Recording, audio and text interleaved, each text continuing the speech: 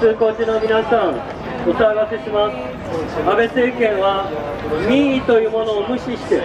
数の力で強行する政治を行っています。沖縄の辺野古基地反対の民意は、2013年、10あごめんなさい、2014年1月19日の名護市長選挙で、稲峰進市長が再選され、そして2014年9月、名護市議会議員選挙、そして2016年、沖縄県知事選挙で国沖縄県民を裏切った中山博一知事が尾長知事に10万以上の差をつけて負け2016年7月10日の参議院選挙で選挙公約を破った自民党の現職の大臣だった島尻愛子さんは開票直後に落選が決まったということで明らかなんです。しかし安倍政権は今衆議院で4つの選挙区で全て辺野古基地反対参議院の2議席も全て辺野古基地反対。この6人を全員基地反対派で独占されている中沖縄の民意を無視して辺野古基地を進めようとしています。そしてそれどころか安倍政権は小長知事が正当な理由に基づいて知事的知事の措置として行った埋め立て承認の取り消しこれもひっくり返して大執行などによって基地建設を強行しようとしています。それどころか安倍政権は機動隊警察海上保安庁を使って無抵抗非服従で反対する市民たちに恒常的に暴力を振るっています。陸上では80過ぎた年寄りのおばあさんに対して頭を打たせて病院送りにする海上保安庁は海賊保安庁というような形で市民を水の中に顔をつけてやる。これが民主主義国家のやることでしょうか。歴代の自民党政権というものはこれほどまでに国民に対して暴力を平気で振るうような政権はありませんでした。1960年日米安保条約改定の時に国会の周りに数万人の市民が大反対20万人近い市民がやった時に岸信介元首相は治安維持活動のために自衛隊を出そうとしました。しかし当時の防衛赤木宗則防衛庁長官後に自民党の総務会長たとえ左翼だろうと国民は国民だ。国民に対して危害を加えるようなことは自衛隊の隊長としてできない。こう言って反対をしました。そして警察庁の国松元長官も市民を弾圧するような警察ではやりたくない。このように言いました。その結果岸信介元首相は自衛隊を市民を弾圧の場に使う。これを断念したんです。しかし安倍政権は選挙の結果が全て明らかになっているにもかかわらず民意を無視して強行しようとしているんです。沖縄における市民への弾圧というものは本当に異常です。特定秘密保護法やあるいは共謀罪法の先駆けというべきようなこんな無茶苦茶なことが行われています。平和運動を指揮する山城宏次議長は不当に拘束されたまま今なお出てこれないんです。がんを患ってる。指導者を不当な逮捕をして出しもしない。こんな非人道的な話はありません。今までの自民党政権と安倍政権というものは完全に違うんです。沖縄で行われていることがよそのことではありません。いずれこの東京でも同じようになる。そういう可能性もあるんです。その可能性があるのが平成の治安維持法現代の治安維持法と言われる共謀罪法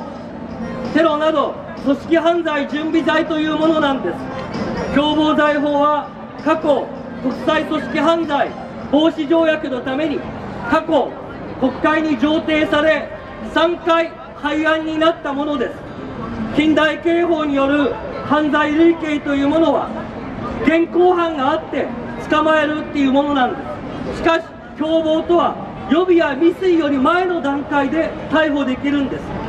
相談しただけで逮捕なんです。そして安倍政権は市民を対応対象としていないと言いましたがこの名前はテロなど組織犯罪準備罪などということが入っているんです。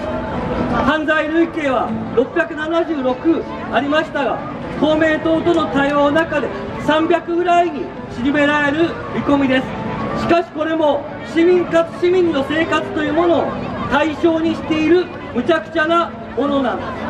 そして安倍政権はこの国際テロなど準備予備罪このように言ってますけどもこれは本当に昔の共謀罪法の焼き直しなんです。こんな近代刑法の原則に反する共謀罪法絶対に許してはなりません。そしてそして国際組織犯罪国際組織犯罪準備条約の批准のために我が国は十分な処措置というものがなされています。国際組織犯罪準備罪に必要な国内法及び条約というものはすでにできているんです。東京オリンピックのために必要であるというのであれば東京オリンピックのための次元立法や追加すべきものというものを最小限度に絞り込むというのが当然のことなんです。安倍政権によるこの共謀罪法小泉純一郎元首相だって平成の治安維持法を通した首相になりたくない。こう言って採決をしなかったんです。もう一度言います。小泉純一郎元首相が平成の治安維持法こういったのが共謀罪法改めテロなど組織準備罪なんです。自民党や公明党を支持する方々考えてください。小泉さんがけんこんなことを言うっていうことはよっぽど危険だということなんです。この共謀罪法絶対に止めなくてはなりません。安倍政権は2016年15年9月19日戦後のこの国が憲法9条の下では許されないとしてきた集団的自衛権を認める安保関連法を国民の80%が説明不足であるというにもかかわらず数の力で強行しました。集団的自衛権行使は1972年9月14日に吉国一郎元内閣法制局長官が述べたように憲法9条いかにどう読み込んでも集団的自衛権を読み込むことができないものなんです津田礼二郎元内閣法制局長官も1983年2月22日に集団的自衛権行使を明確にするんであれば憲法改正という手段を取らざるを得ない。このように述べてるんです。この答弁を引き出したのは平和の党だった公明党の市川雄一元職長なんです。憲法を解釈で曲げる憲法解釈を変えるために内閣法制局の長官に素人を持ってくる。そして2008年6月24日福田康夫元首相に集団的自衛権容認の報告書を出しても全く相手にされなかった。変更した知的査問会議。安保法制婚を政府の査問会議であると偽って。内閣法制局に審査の記録も残さないで。憲法解釈を変えたのが安倍政権なんです。安倍政権は2015年5月12日に集団的自衛権を可能にするための関連法制を一本一本丁寧に審議するなく日本に圧縮したものを閣議決定しました。この閣議決定の日付が2015年5月0日って書いてあるんです。5月0日なんていう暦はありません。そして安倍政権は2015年6月4日の憲法審査会において日本を代表する3人の憲法学者が3人とも憲法違反だと言ったにもかかわらず国会会期を95日間延長しそしてどの政権もやってきた。議事やってきた。地方公聴会のまとめ総括質疑を省いてまたしても議事録もない採決を経て強行し議事録まで書き換えました。これは立憲主義と民主主義に対するクーデターと言って過言ではありません。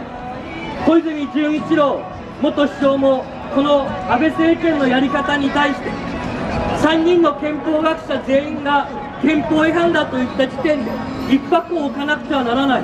自民党推薦の長谷部康夫早稲田大学教授が憲法違反だといった時点で安保関連法はアウトである。なぜ安倍首相は強行するのか。このように言いました。山崎拓元副総裁。自民党の防衛族のトップでした。しかし彼も解釈会見は許されない。平和主義というものを守り抜かなければならないと言いました。亀井静香元建設大臣国民の信を問わなきゃいけないことは子供でも分かることだ。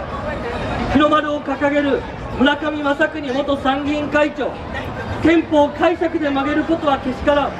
アメリカの言いなりになって海外派兵することは将来必ず過去を残す。皆さんどうですか？自民党の会見派の人たちもおかしいと言っているのが安保関連法なんです。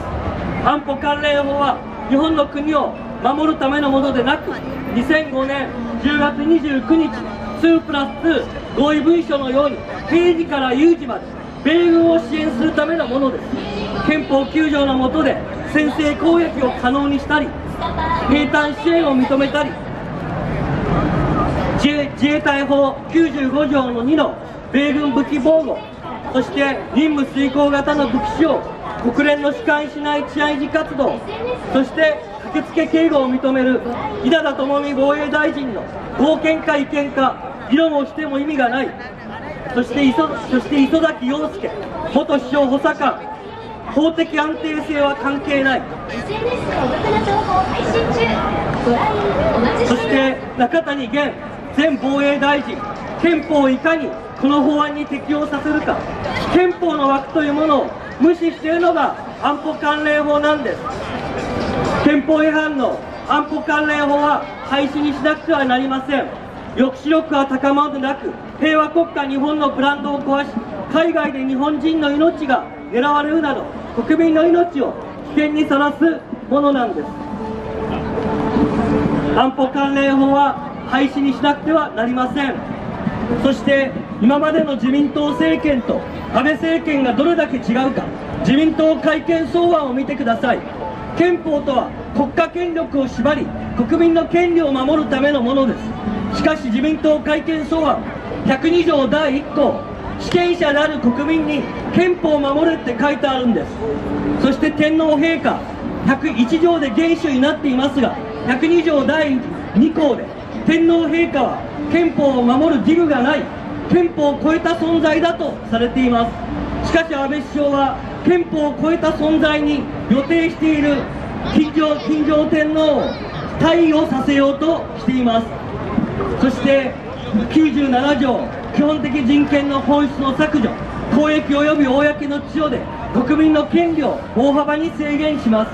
98条から99条緊急事態条項国会が開かれていても国会を無視して法律と同様の政令が指定できる。まさに全権委任法というべきものなんでそして自衛隊は9条の2で国防軍軍法会議を持つ国防軍になります。戦後のシステムを壊すのが安倍政権なんです。安倍首相に関する逸話があります。安倍晋太郎元外務大臣と組んで総理の近いところにいました。その安倍晋太郎元外務大臣の逸話です。心臓だけは政治家にしちゃいけない。心臓だけは政治家にしちゃいけない。人の気持ちがわからない。異なる意見に耳を傾けることができない。この心臓だけは政治家にしちゃいけない。この人を再稼働や再チャレンジを許したのは国民の責任です。この規格外の安倍政権というものは今までの自民党政権と全く異なるものです。立憲主義とは絶対王政の時代であって日本は民主主義の国だから自分の考え方を書き込むのが新しい時代の憲法の在り方だ。立法府の長だ。最高責任者は私だ。憲法を守る立場なのにみっともない憲法。こんなことを言うような首相はいませんでした。安倍首相から日本を取り戻さなくてはなりません。安倍首相は日本を取り戻すというんであれば首都圏の空をアメリカに占領されている。アメリカの属国になっているようなことを取り戻すことが日本を取り戻すものなんです。保守なら守るべきものがあります。それは TPP や日米 FTA で日本の国家主権を守ることなんです。アメリカの言いなりになって危険な遺伝子組み換え食品やモンサントの食品こんなものを国民に食べさせそして年金をカットしそして労働法制を改悪する。原発は再稼働させる。これが保守でも何でもありません。保守でも何でもない。安倍政権というものを終わらせて安倍政権からまともな日本を取り戻してほしいと思います。ありがとうございました。